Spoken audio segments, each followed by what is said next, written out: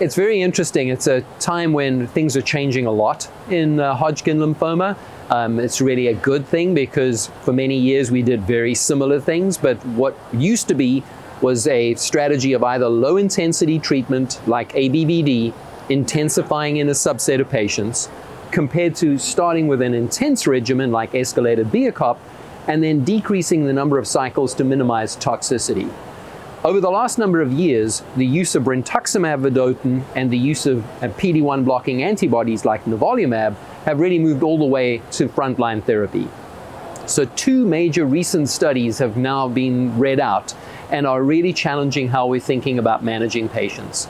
The first is a comparison of BrECADD, which is a modified escalated BEACOPP with the use of brentuximab vedotin, compared to escalated BEACOPP. And that showed that you can decrease the intensity and actually get better results.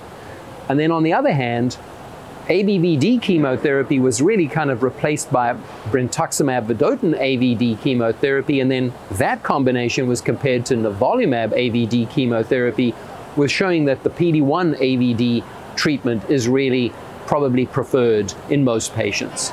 So we're now at the place where we have new treatments that are even more effective and toxicities are even less. So the question I was asked is, can we dispense with the old? And the answer is largely yes. The challenge for the future though is what to do comparing nivolumab AVD and BrECADD, and that's going to take a randomized trial.